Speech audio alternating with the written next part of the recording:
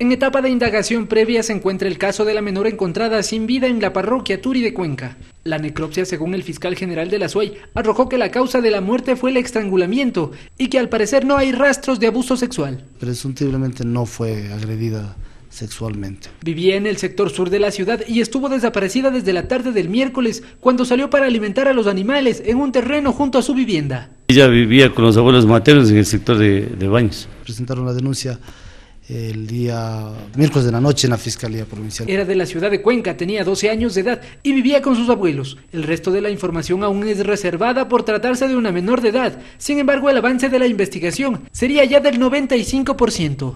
No podemos darle el nombre de la niña porque es una menor de edad. Una niña de, de esa edad no creo que va a tener ningún conflicto con nadie.